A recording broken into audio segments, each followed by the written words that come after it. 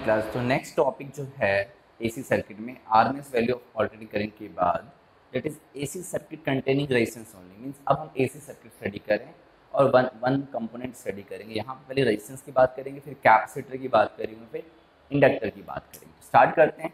Resistance only यानी एक circuit है जिसमें रेजिस्टेंस है सिर्फ़। ये आर रेजिस्टेंस है और सर्किट कैसा है? एसी सर्किट है। तो एसी सर्किट के लिए आपको मैंने बताया था सिंबल कौन सा यूज़ करते हैं? This one the symbol of AC circuit battery cell लगाते तो डीसी सर्किट हो जाता है। दिस इज़ एसी सर्किट और एसी सर्किट में यहाँ वोल्टेज जो होगा applied voltage V naught sine omega T होगा।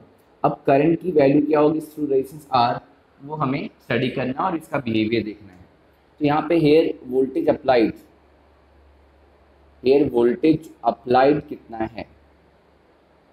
V is equal to V naught sine omega T है। This is the first equation अब करंट हमें फाइंड करना है। सिंस करंट जो होता है आई इज़ इक्वल टू क्या होता है? वी बाई आर होता है।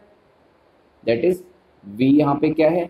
V naught sine omega T है अपॉन आर कर देंगे तो हमें आई मिल जाएगा। V naught by R that is I naught sine omega T okay this is expression of current second और आई नॉट क्या है? वी नॉट बाई आर है।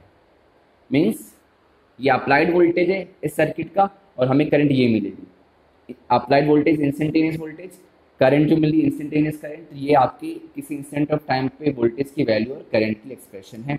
अब हमें इसमें स्टडी करना है कि कैसा वेव फॉर्म है इसका। तो वेव फॉर्म ऑलरेडी हमने एसी जनरेटर में स्टडी किया ही है। वी पहले वी के लिए ड्रॉ करते, फिर कॉमा आई के लिए ड्रॉ करेंगे। वी के लिए भी आपका ऐसा है।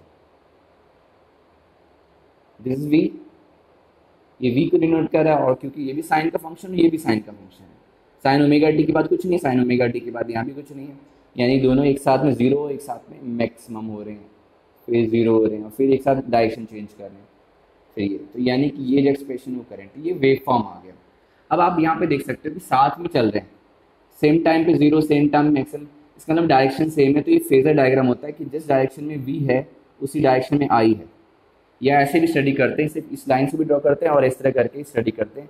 कि अगर किसी इंस्टेंट ऑफ़ पॉइंट पे इस डायरेक्शन में भी है तो उसी डायरेक्शन पे आई है।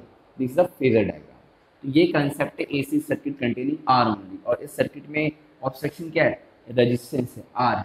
ठीक है क्लास तो आपको ये रिवाइज करना है, छोटा टॉपिक है। इसके बाद हम स्टडी करेंगे, बड़ा टॉपिक है थोड़ा सा वो AC circuit containing capacitor only वो फाइव मार्क्स का बड़ा टॉपिक में थ्री मार्क्स के क्वेश्चन आते हैं टू मार्क्स के भी आते हैं वन मार्क्स के भी आते हैं।